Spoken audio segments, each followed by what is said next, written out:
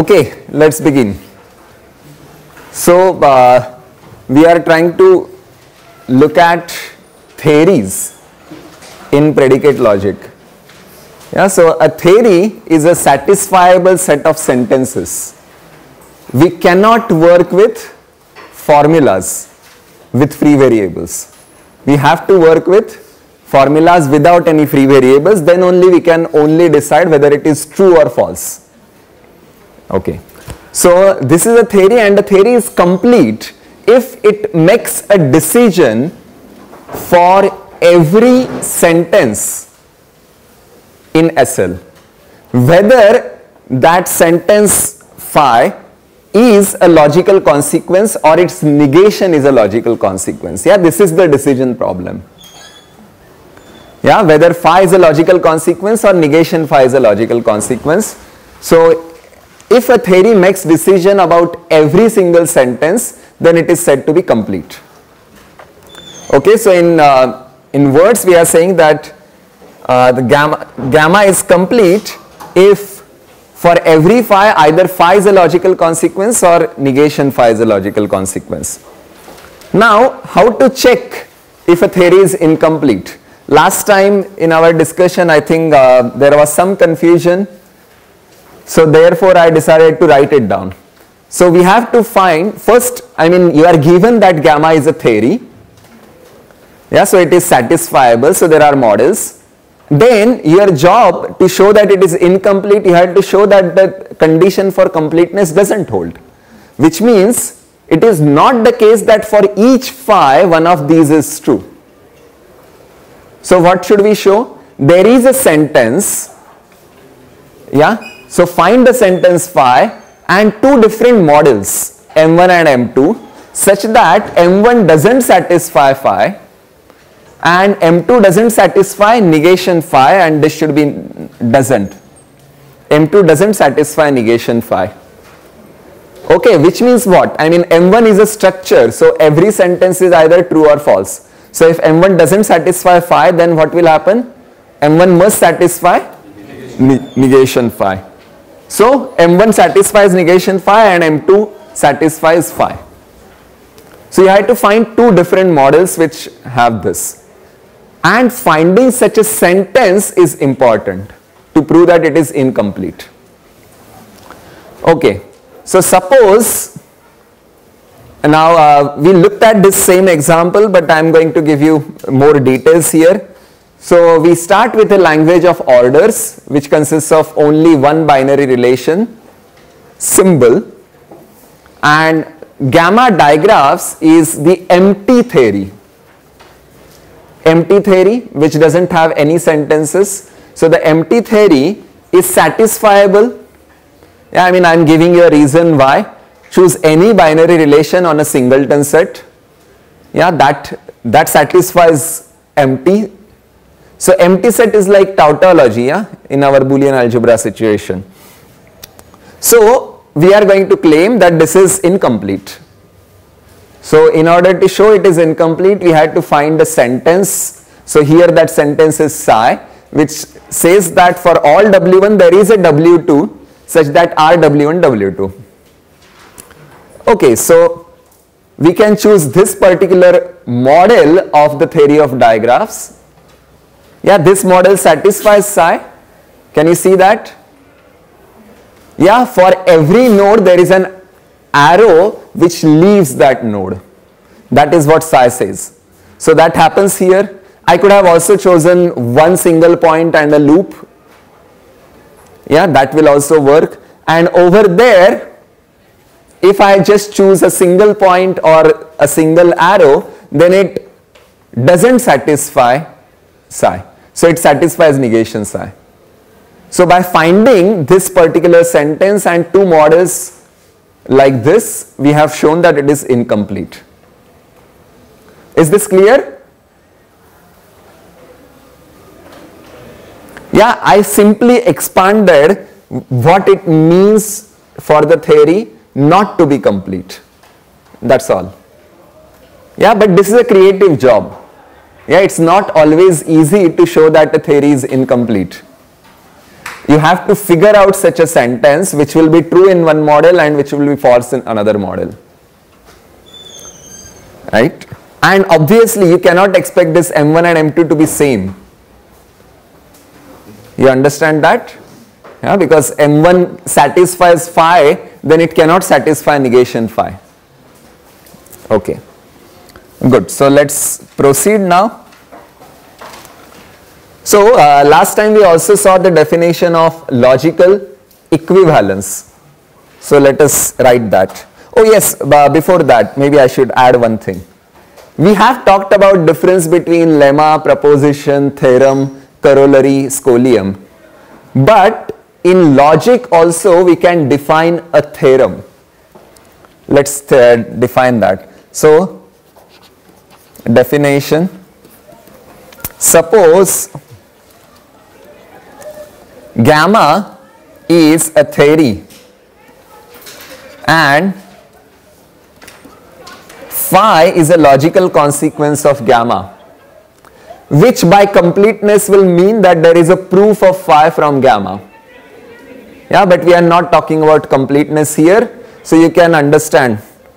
Then we say that phi is a theorem of theory gamma.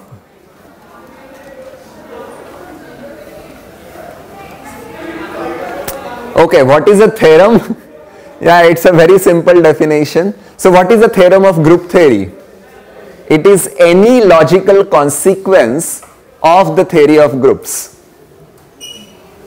So a theorem of group theory is any sentence which is true in all groups.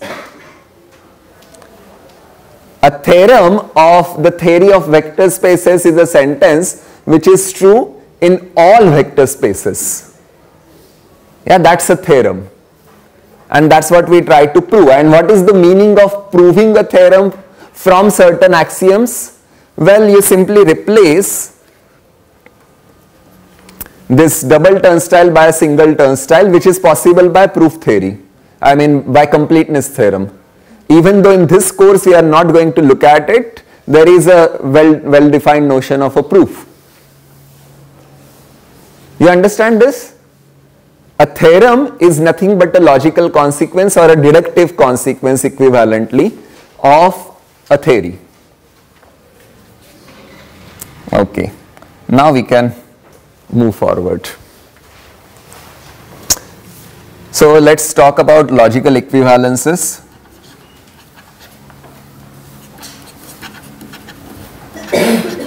Can somebody uh, recall the definition for me of a log logical equivalence? Logical equivalence between what? What should be given? What should be the data? Two, two formulas, not sentences. So say that, and there should be something more. Say that phi x bar comma psi x bar in FL are logically equivalent.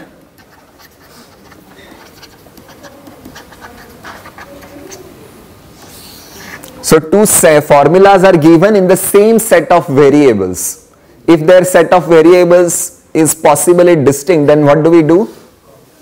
We take its union and so that the context is the same. Okay. If for all L structures M and all A bar in M M satisfies phi at A bar if and only if M satisfies psi at A bar. Okay, this is just a recall. Now, some standard logical equivalences. This is not an exhaustive list. I cannot list all of them. Yeah, there are infinitely many.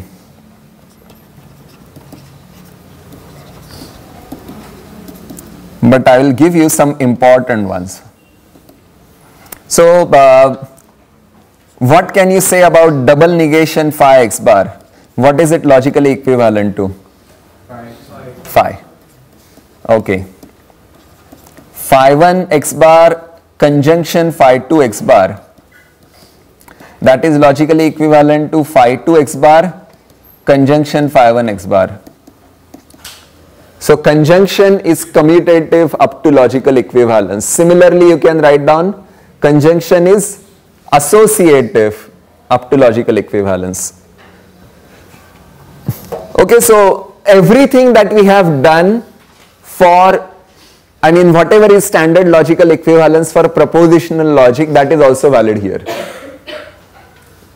Yes, I am not going to waste more time writing out those things. But what I can do is add something new to, to the mix. So for example, suppose I am writing this, yeah, phi 1 x bar conjunction phi 2 x bar comma y but that y I am replacing I am taking this thing there is a y here but that y I am replacing with a quantifier Hmm? So I am writing this and I am saying there exists a W. Then what is it logically equivalent to?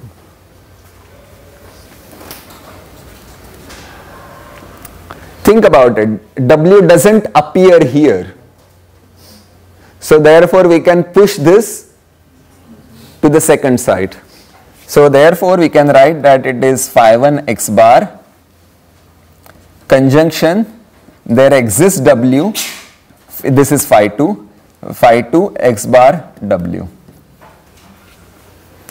Okay, what this allows us is that if a particular bound variable doesn't appear somewhere, then we can move it around. So, uh, while we are writing this, I also want to point out something. In this particular formula, on the right hand side, what is the scope of the quantifier? Just phi 2. Yeah? I mean, even though I haven't defined it precisely, you can understand what is scope. Yeah, the quantifier doesn't have to extend to everything. Yeah, that is what this logical equivalence says. Well, another thing which is which looks quite stupid but that is also important yeah many times we need to do this so for example there exists uh, w1 phi 1 uh, phi of x bar w1 is logically equivalent to there exists w2 phi of x bar w2 what are we doing here we are simply changing the name of the bound variable it doesn't change the meaning Ah, you understand this? Okay. So this is also standard logical equivalence. We cannot do this with free variables. Be warned. Yeah, free variables have to be in specific order. But bound variables you can do anything. Okay, another thing. I think I already mentioned this. So suppose there is a formula psi which has two variables replaced by quantifiers, then what can I say this is logically equivalent to? There exists W2 comma W1. Yeah, I mean first W2. So the existential quantifiers, they commute with each other.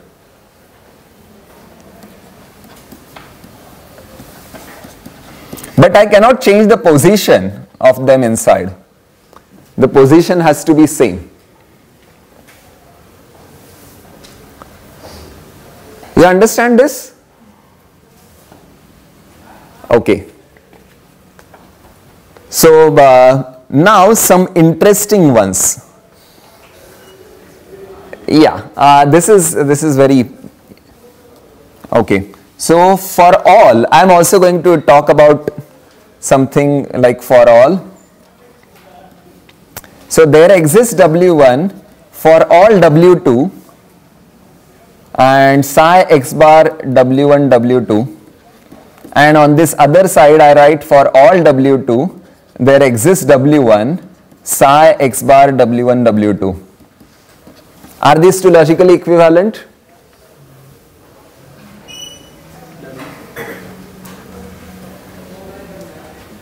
I just changed the position of this, I took it inside.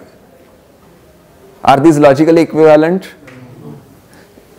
If you are saying no, then you have to, now tell me, what, what do you have to do?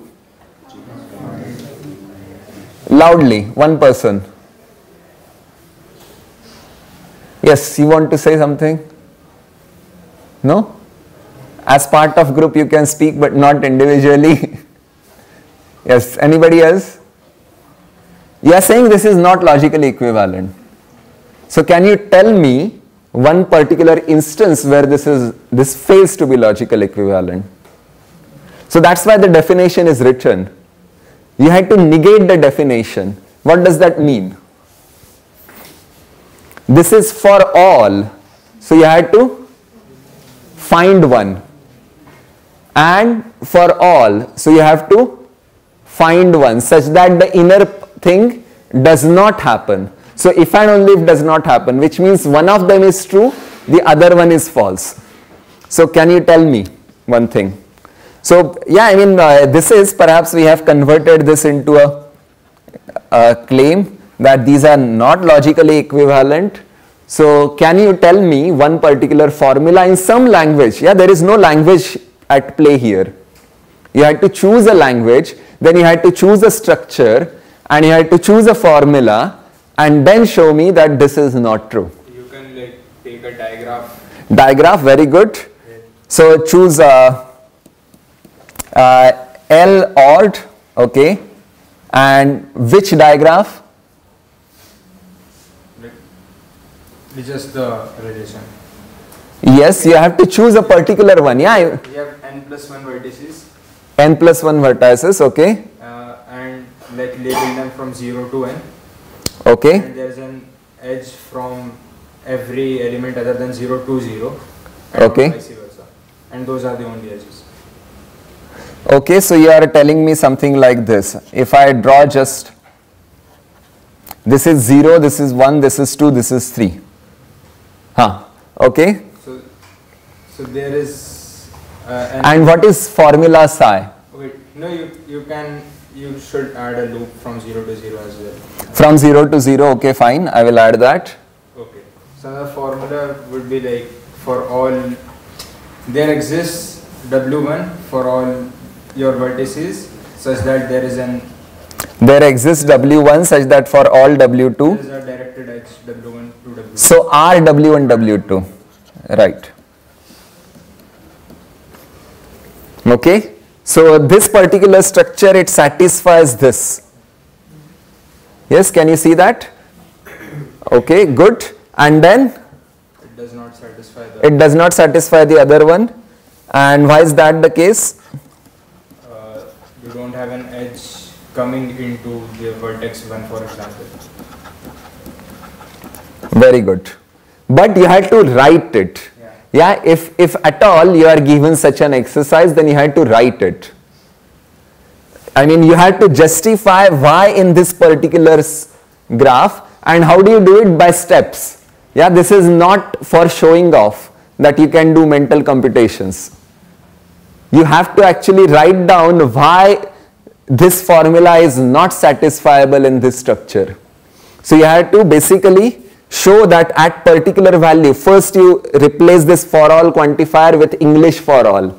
Then the next thing is there exist quantifier by there exist in English. And then you had to find out some particular things. Yeah, I mean, perhaps you will show that this is not true because since this doesn't satisfy, this particular structure doesn't satisfy it at what? Uh, 0 R comma? Yeah, 2 1 let's 2 1 okay. Okay you have to show something like this. I should use this. Uh, i mean maybe i should write it properly. I should say rxy at 2 comma 1 yeah by showing this you conclude that this doesn't happen but that happens that also you have to prove. Yeah, for so logic course is not just about understanding, you also have to know how to write. If you don't write and your mental calculations, many times it happens that students uh, send something, some more explanation in the regrade requests. And then the question is, why did you not write it at, in the exam paper itself? If you can explain it better, then do it in the exam. Okay, very good. So, if you need to show that something is not logically equivalent, that is the procedure.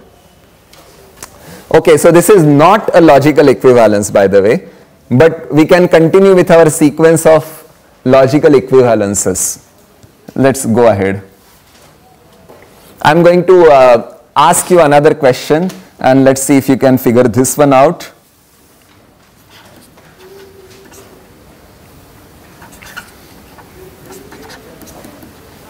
So for all w theta 1 x bar w conjunction theta 2 x bar w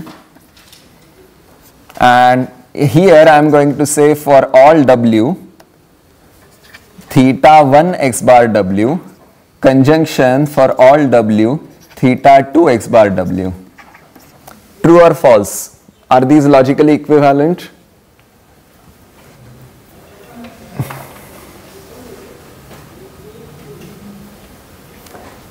think about it, I will write another one.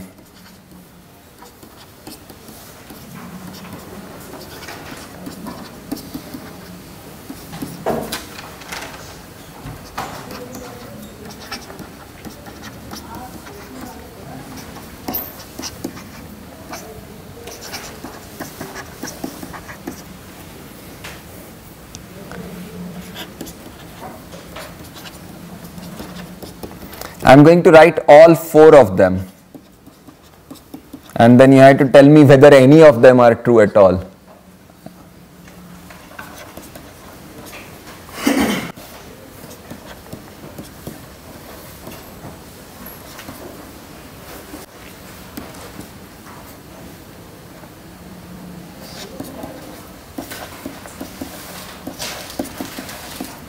And the last one, there exists W theta 1 x bar w disjunction theta 2 x bar w and there exists w theta 1 x bar w disjunction there exists w theta 2 x bar w.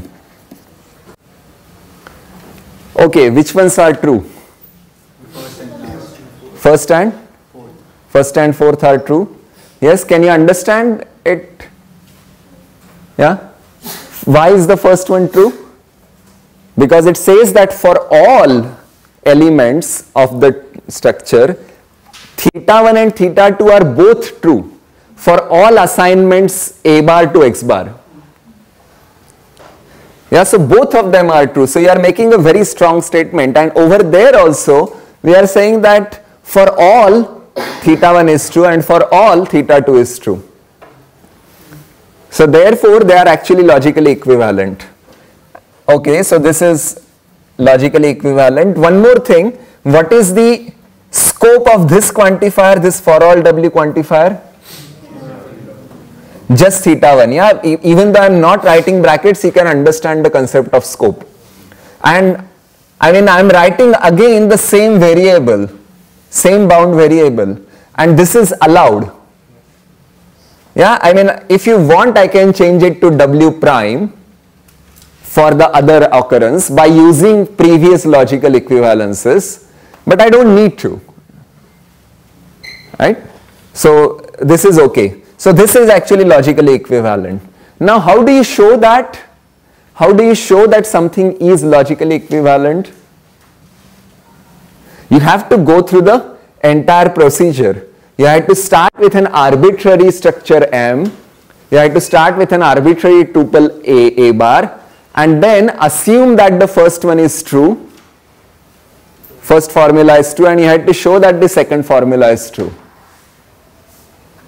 Okay, so you had to first transform it into English language and from in that English language you manipulate and then you again transform it back to formal language. You understand this? So that's how you prove that something is logically equivalent. The last one also you are saying it's true. Yeah, because it says that either there is a witness for theta 1 or theta 2.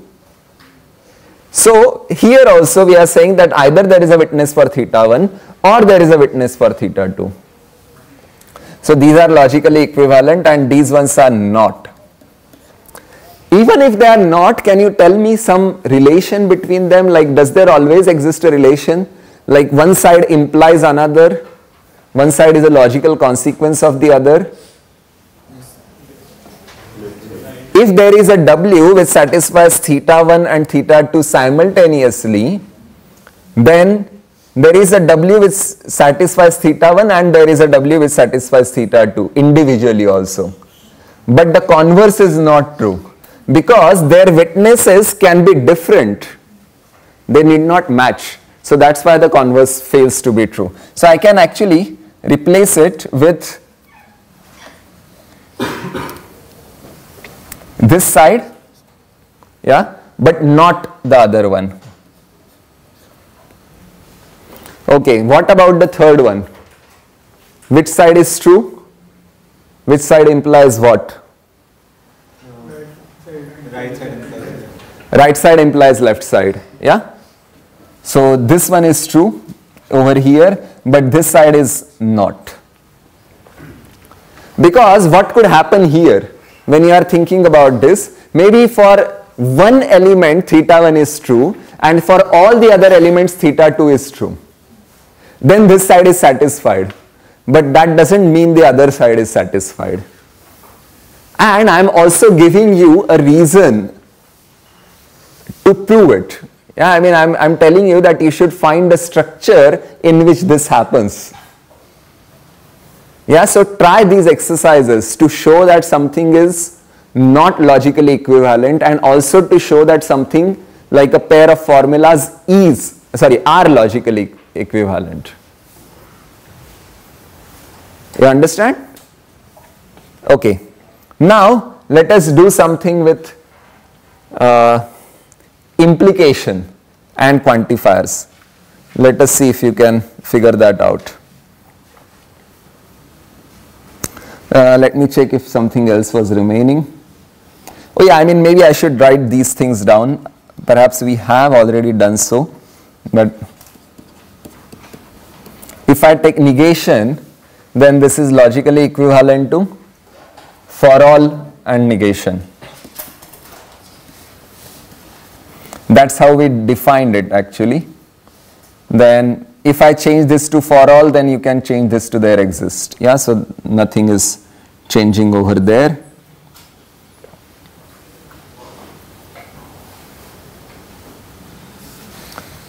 Okay, now what if I tell you this? For all w, phi 1 x bar w implies psi. Is it logically equivalent to something? I mean psi of x bar or can I take that quantifier out and then yes how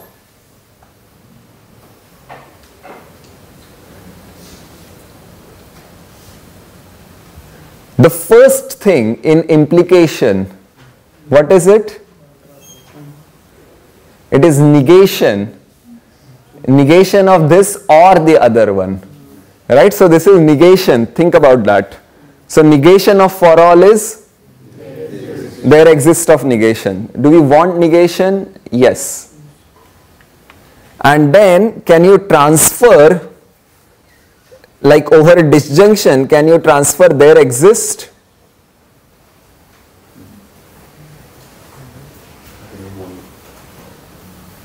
Yeah, I mean this one. Can you do that? Okay. So what should I write here? Tell me.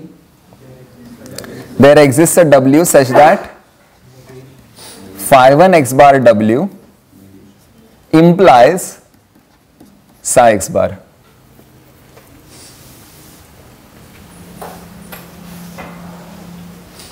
Well, I think we are also using something which was unsaid so far.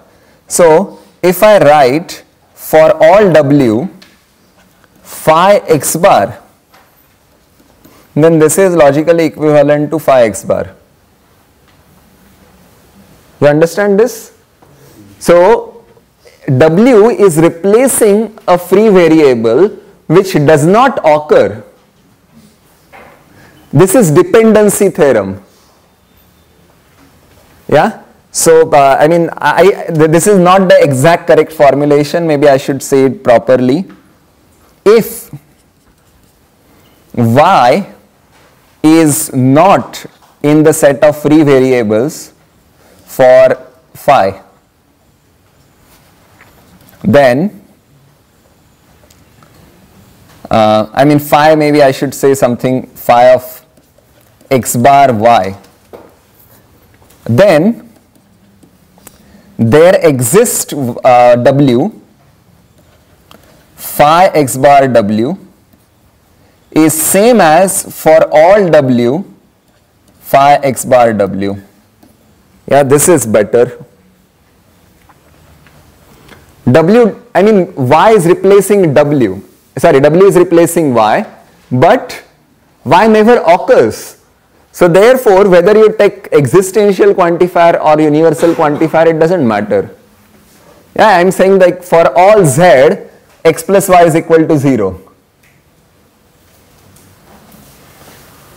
And there exists a z such that x plus y is equal to 0. Well, it doesn't depend. So they are equivalent anyway.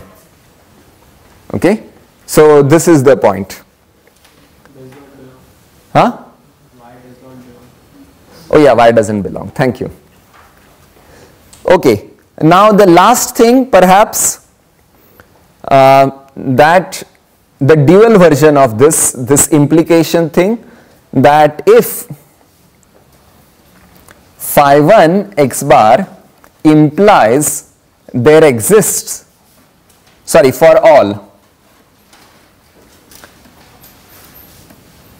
for all w psi or phi 2 x bar w. If I am doing this, then I can take out the for all quantifier and just put it over here. So what you should remember is from the first component the other quantifier comes out and from the second component we are taking out for all. Yeah, I mean this, this side had for all over here and this one had for all at the target of the implication. So these two are different, they behave differently. Yeah, because the first component is always negated, the second component is not. Okay, so once you understand all these things, now I am going to show you a transformation of a particular formula. Okay, so let us start with this phi of x bar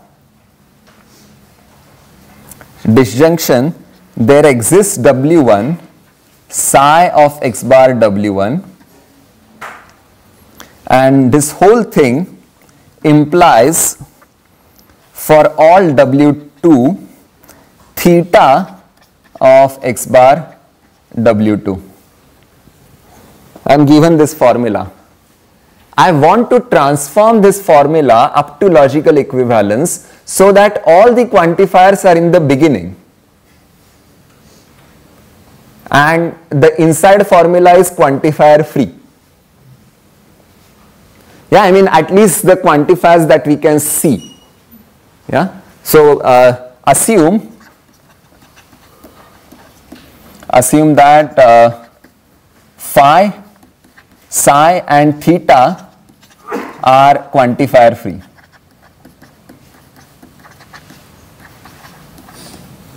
Okay.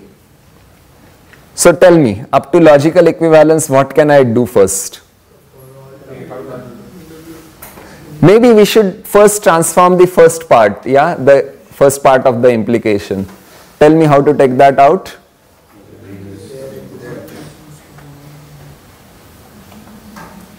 There exists W1 such that inside what should I write?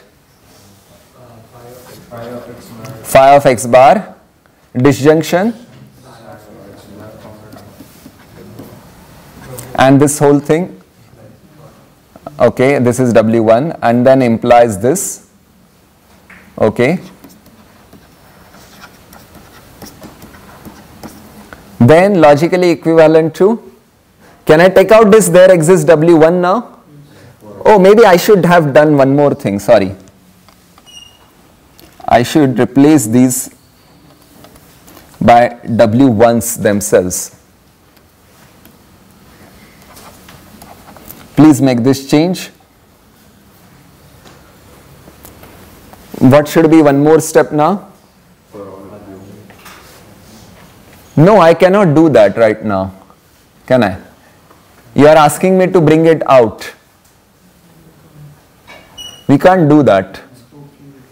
You have to first make sure that the, like in every different scope, the bound variable's name is different.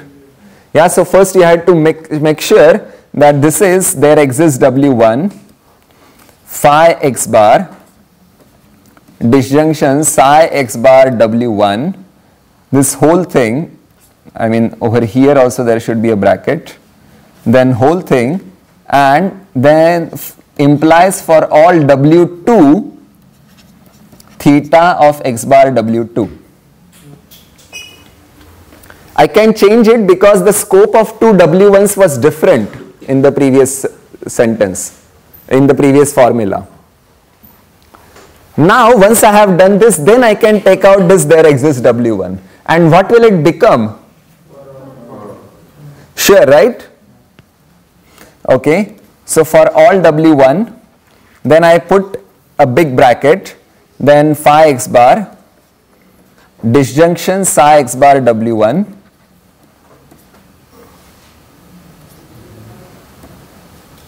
and then implies for all W2 theta x bar W2 and then the big bracket complete. And then finally I can take out this for all W2. It's in the second component so it doesn't change to anything different. It just remains as it is. So for all W1, for all W2, now inside I will have phi x bar disjunction psi x bar w1 implies theta x bar w2. So this formula is said to be the last formula is in is in the prenex normal form.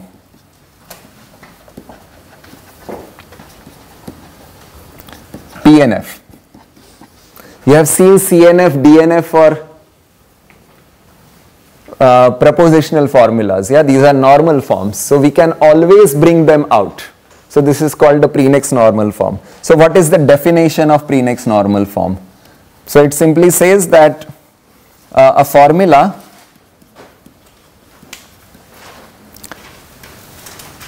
uh, okay maybe I should write down the theorem directly yeah this is a theorem but we are not going to prove it yeah so for each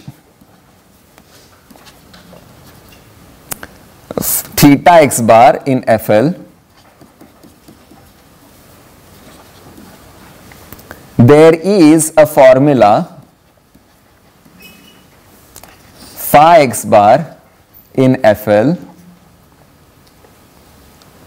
such that theta x bar is logically equivalent to phi x bar and phi x bar is of the form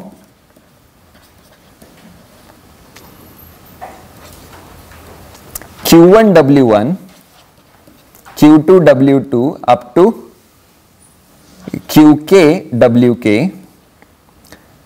then psi x bar and w1 w2 up to wk where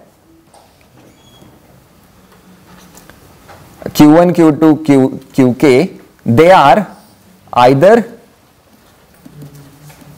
there exist or for all. I am using q because it's a quantifier or for all. And psi x bar and y1 y2 yk is quantifier free.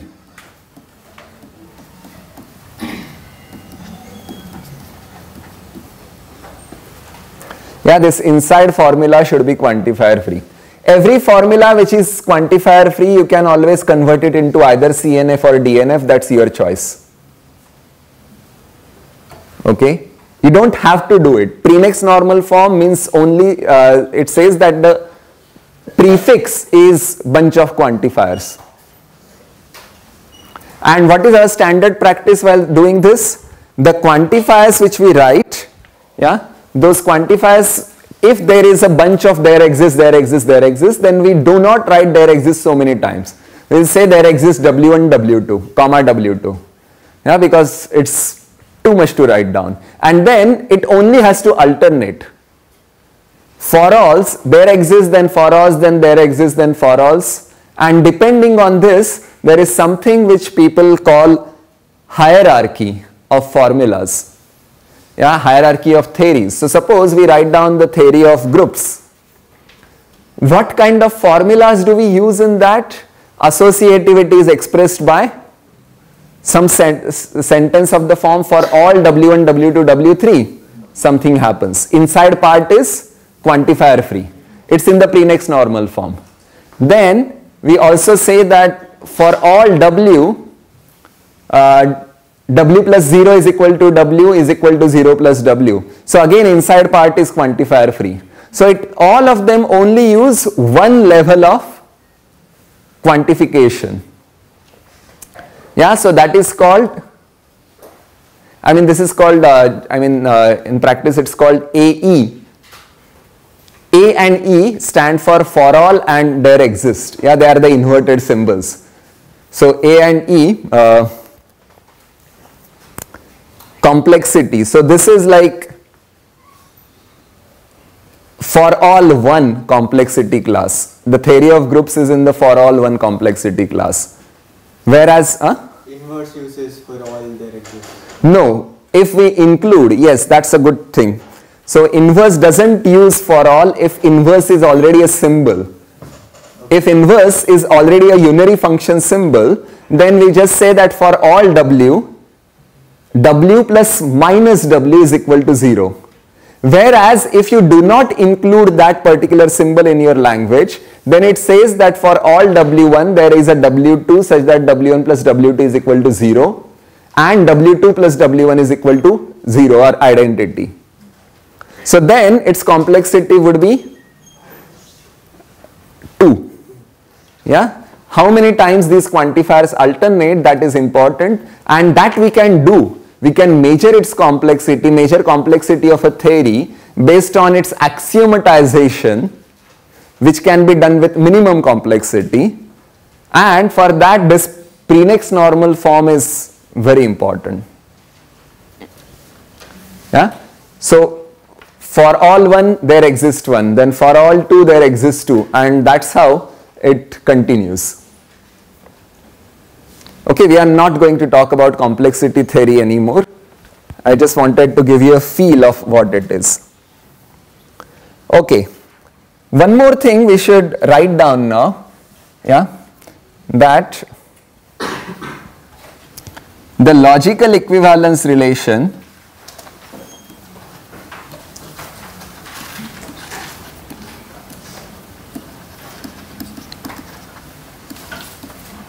on I am going to say f l x bar. Yeah, f l x bar means these are the formulas in variables x bar. Yeah, f l x bar is a congruence relation.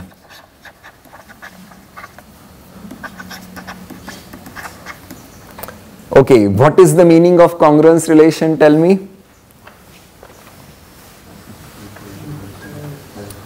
If theta 1 x bar is log uh, logically equivalent to theta 2 x bar and psi 1 x bar is logically equivalent to psi 2 x bar then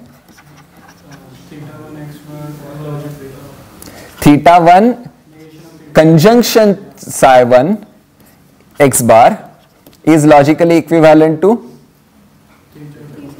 theta 2 conjunction psi, uh, psi 2 x bar and negation theta 1 x bar is logically equivalent to negation of theta x bar. Okay. So this is important and can you tell me why? Because then we can make a Boolean algebra out of it. Okay. So define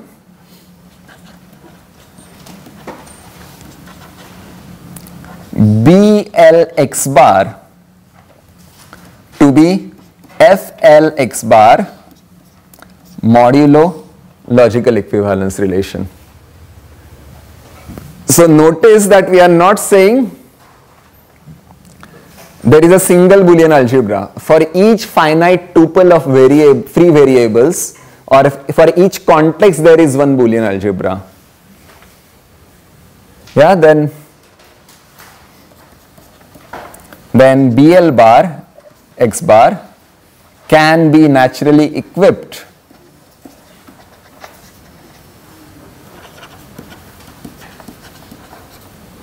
with the following Boolean algebra structure. Now you have to describe to me what happens. Yeah. Uh, so if I take negation of the logical equivalence class of this, how should I define it? I mean this is the complement, sorry, this is the complement of the logical equivalence class of theta 1 x bar. We will define it to be the logical equivalence class of the negation of this. Okay. Similarly, if I take two different classes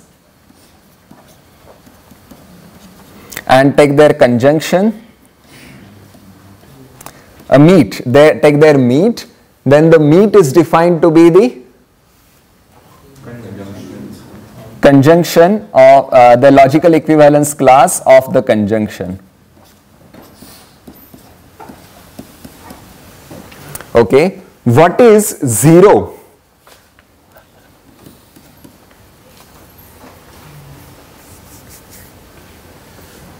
The same zero. What is same 0? Theta 1 uh, and. Theta 1 and? But do you know any formula exists?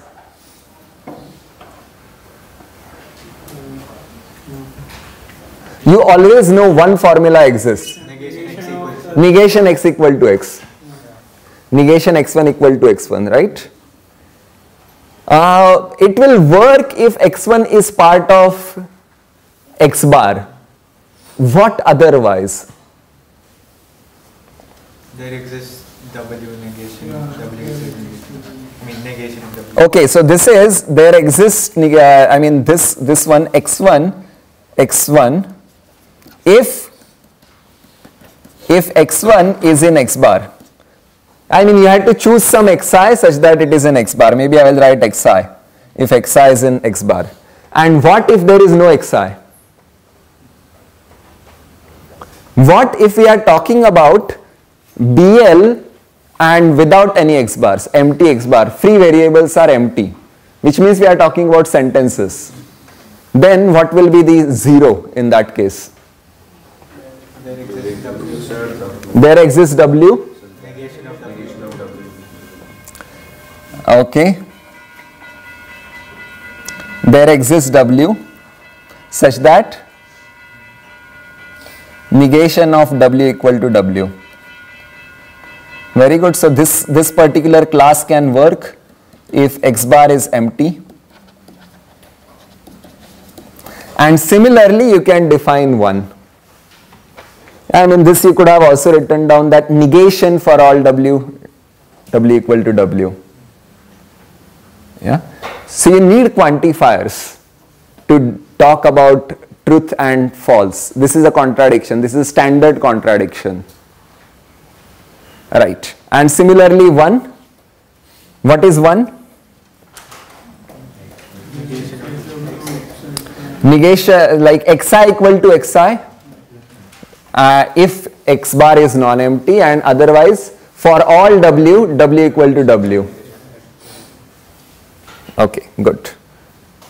Uh, now let us move forward. So this is a Boolean algebra and this Boolean algebra is in some sense a universal Boolean algebra. Now I am going to specify how. Let's go to the next slide. So suppose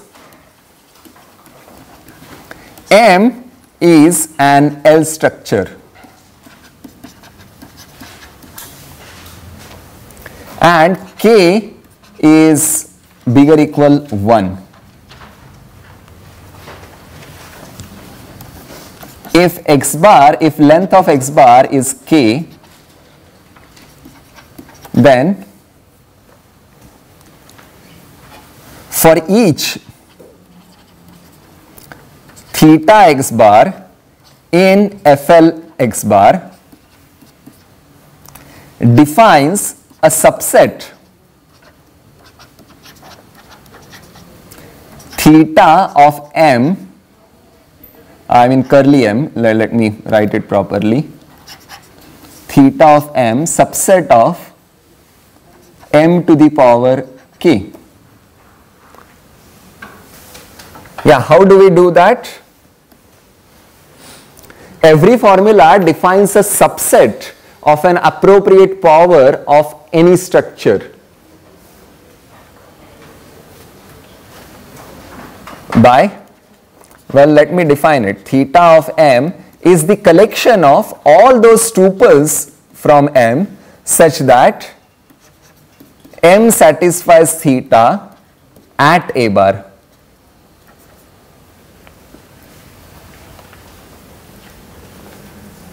Make sense? Yeah, we are talking about all those tuples for which this is true. So for example, yeah, I mean if my formula is simply less equal, for example, L ord is equal to this and theta of xy is equal to rxy okay? And my structure is uh, suppose m is uh, let's say 1 2 comma the set consisting of 1 2 uh, maybe I'm making it too simple Suppose m is 1, 2, 3.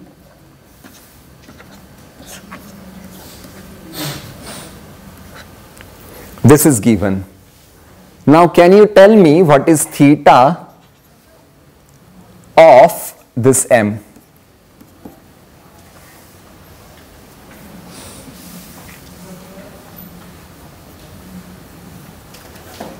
Yes, tell me. Where is it satisfied? Okay, so I am uh, supposed to give you uh, some set of ordered pairs. Yeah, so the first ordered pair is 1 comma 2, the second ordered pair is 2 comma 3 and the third ordered pair is 3 comma 3.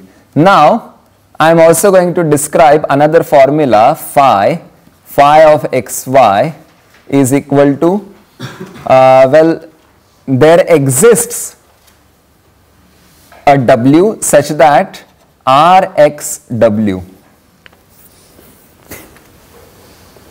So this is a subset, the original one is a subset of M square. Now can you tell me which pair I am supposed to talk about here?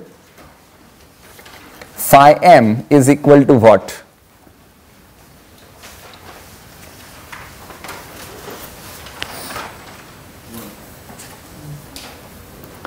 Which values of x are valid here?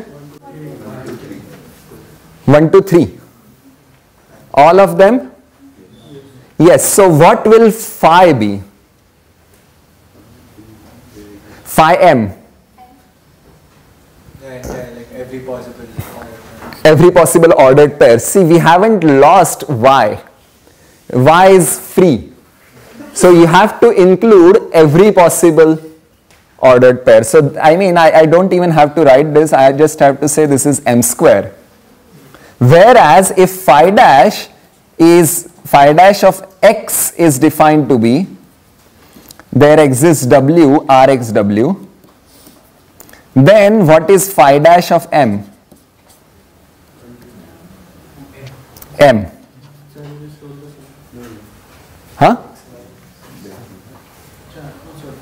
yeah this is only the context is different here. Context is only one variable. So then now this is a subset of m. This one is the whole thing. Yeah? If I change it to for all w yeah I mean maybe I, I should do this phi 1 of xy is equal to for all w rxw then what will it be? What will be phi 1 of m?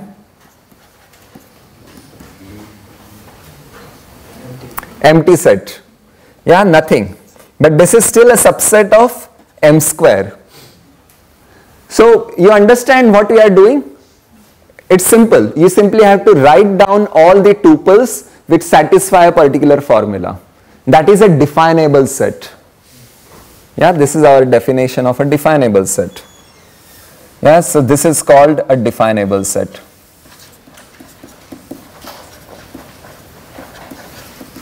Now what I am saying is the collection of all definable sets, it also forms a Boolean algebra.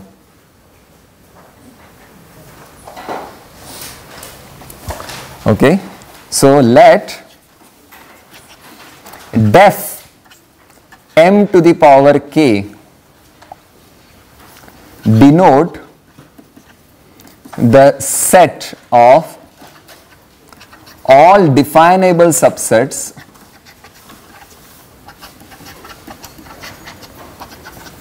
of m to the power k by formulas in fl x bar where length of x bar is equal to k. Then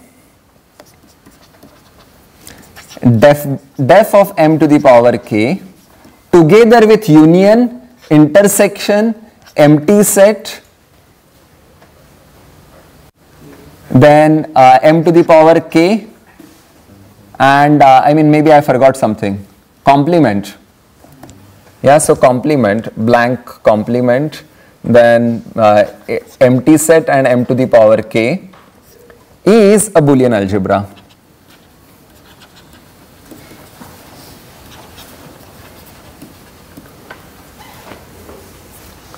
Okay, perhaps now we should see why that is the case. Yeah, uh, suppose I take D1 and D2 to be definable.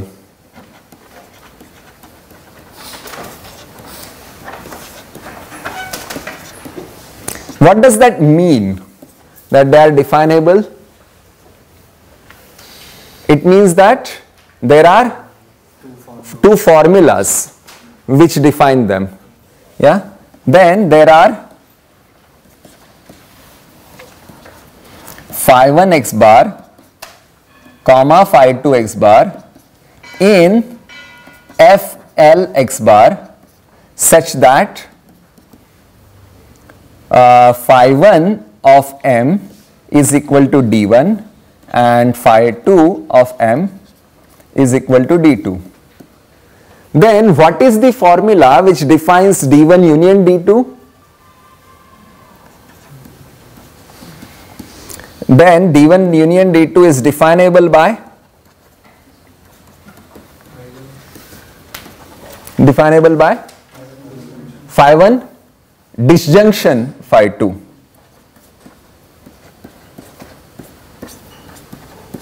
okay d1 intersection d2 phi 1 conjunction phi 2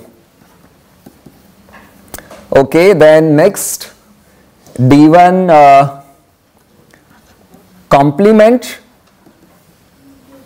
Negation phi 1 x bar. Then how is the empty set is def defined how is the empty set defined? Same way as we did last time. Yeah negation of? Negation of x1 equal to x1 or or we will always write let's say we will always write this yeah? That there exists a w such that negation w equal to w yeah this will always work no matter whether x bar is empty or not. And the full set is definable by for all w w equal to w. This will define everything. So this is a boolean algebra. Have i convinced you? Now look at the last slide. Okay, over here when you are looking at phi 1, what is the interpretation of like what is the set definable by phi 1? It is the empty set. But phi 1 does it look like our formula that for all w negation w equal to w? That is not the formula. So it could happen that there are two different formulas and they will give me same definable set. But those two different formulas are not necessarily logically equivalent. You understand this? So if two formulas are logically equivalent, then obviously they are going to give me the same definable set. But even if they are not necessarily logically equivalent, they can give me a, uh, the same definable set in some structure. So that is what now we are going to document. So there are there is a surjective Boolean algebra homomorphism from BL x bar, I mean maybe I should write BL x1 x2 xk to def m to the power k for any L structure M and what is this particular map? the map sends phi of x bar, the logical equivalence class of this phi, to the set defined by this. So this is a surjective Boolean algebra homomorphism. Do you understand why it is surjective? By definition of a definable set. Every subset over there has to be definable so it must be defined by some formula. So that formula, the logical equivalence class of that formula is going to map to that particular definable set. But this doesn't have to be injective. Yeah, because I explained to you from an example that it doesn't have to be injective. You understand this now? So there are so many Boolean algebras that you can think of and they are all very interesting. Yeah. So the, these Boolean algebras actually capture, I mean definable sets are extremely important. Yeah? Definable sets actually capture the expressive power of a language in a structure. For example, yeah, if you remember there was a tutorial problem which asked, can you define the set of perfect squares in n plus 0? What was the answer? No. So what can you define in the set of, uh, like in n plus 0, what all things can you define? They will form a Boolean algebra. What can you define in n plus 0? You can define what is even. You can define what is odd. Can you define what is a multiple of 3? No? You can. Yeah, how do you define it? Let's do that. Okay, so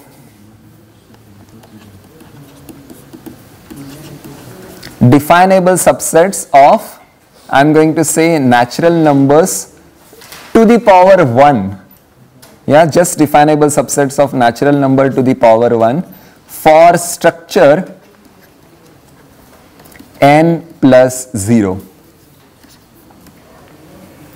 I can always say that there is a y such that uh, there is a w such that uh, w plus w plus w I mean maybe I should write languages uh, f and e. This is 2 and this is 0 yeah so there exists a w such that f of f of w comma w comma w this is equal to x this is a formula which defines multiples of 3. Okay. Then similarly I can write down a formula which defines multiples of multiples of fixed n. Yeah, so all kn's are definable. So all kn's are definable for k in n. Yeah, even 0n is definable. How? What is 0n? All the multiples of 0. Why is it definable? The formula is x equal to e. Yeah, 0n is definable by x equal to e. Defines 0. Singleton 0 by the way. Yeah, singleton 0. Which other singletons are definable here?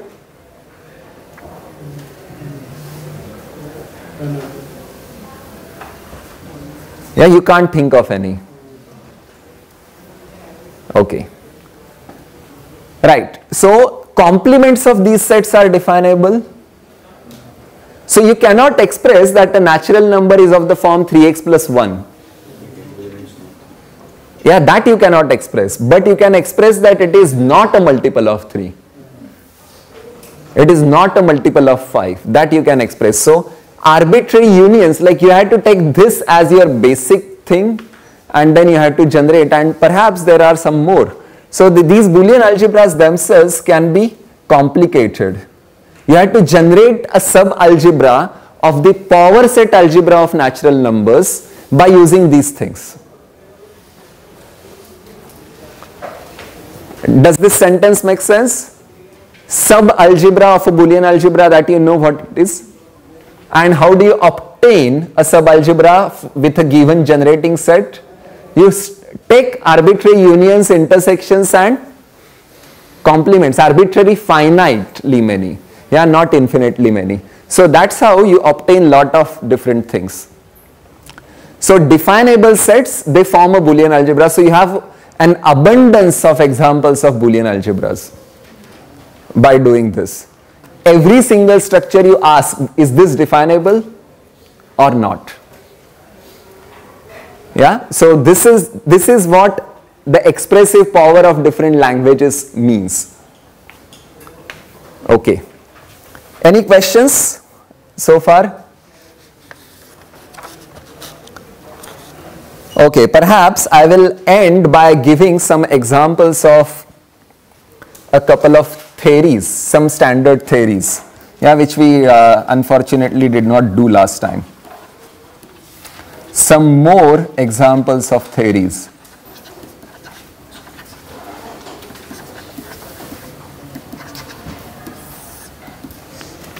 Okay, the first one is in this language again, L-ORD. Yeah, and this is called gamma DLO. Yeah, the theory of dense linear orders. We are going to use this theory in, in the future lectures, so that's why I'm talking about it. So linear orders, you know how to write down axioms, yeah? So axioms for linear orders.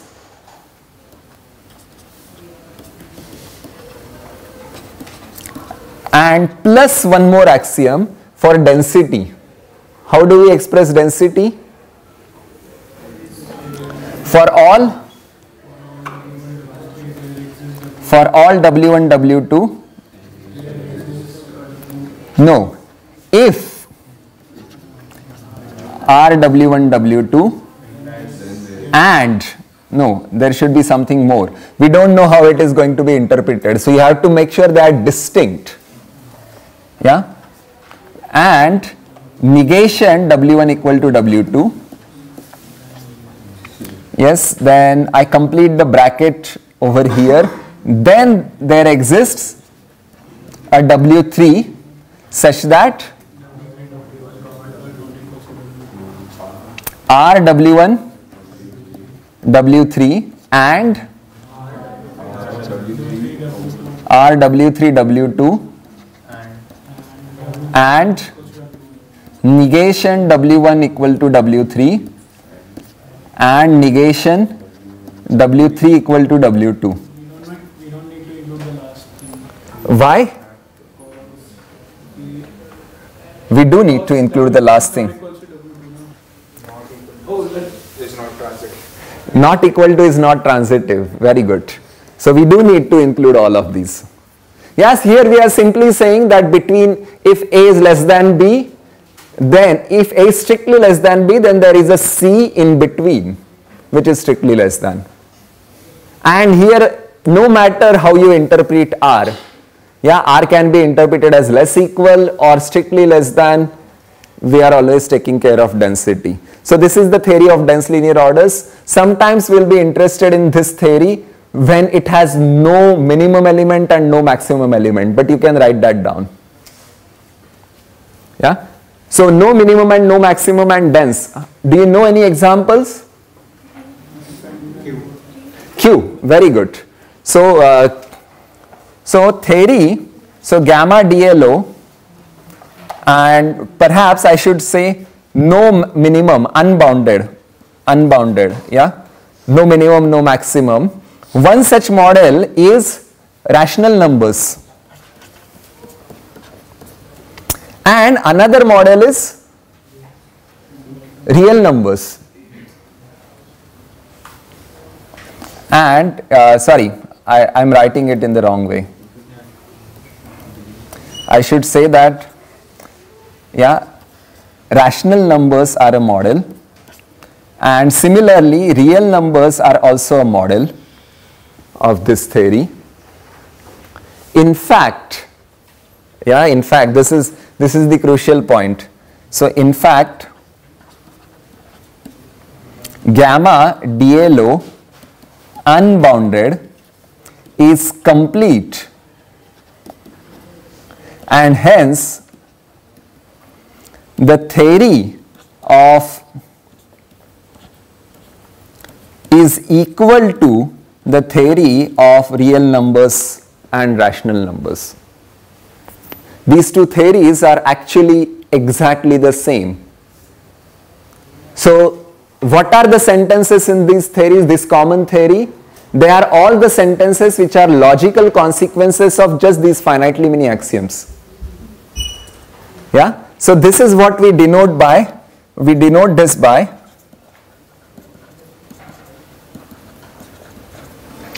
Q less than triple equivalent uh, to R less than and this is read as elementarily equivalent.